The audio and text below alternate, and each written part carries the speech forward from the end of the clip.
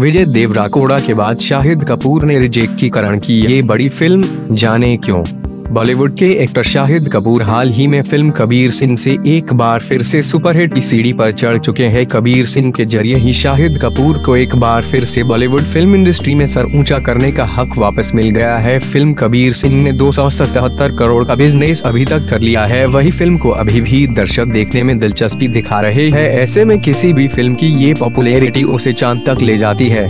Film Kabir Singh, Telugu film Arjun Reddy की remake है। वही अब इस फ़िल्म के बाद करण जौहर ने भी रीमेक लाने में कम हरकस ली है। इस दौरान उन्होंने हाल ही में फ़िल्म के राइट्स खरीदे हैं। ऐसे में अब जल्द ही करण जौहर फ़िल्म डियर कोमरेड का हिंदी रीमेक ला रहे हैं। जी करण जौहर ने अर्जुन रेड्डी के हीरो विजय देवरकोंडा की फ़िल्म डियर कॉमरेड के राइट्स हासिल कर लिए हैं। माना जा रहा था कि करण विजय को उन्हीं की फ़िल्म से बॉलीवुड में लॉन्च करने वाले हैं। लेकिन बाद में खबर आई थी कि विजय ने इस फ़िल्म का ऑफ़र रिजेक्ट कर दिया, जिन विजय की फ़िल्म अर्जुन रेड्डी के रीमेक में शाहिद देखे थे। उन्हीं की दूसरी फ़िल्म डियर कोमरेड के रीमेक के लिए भी शाहिद का ही नाम सामने आया था।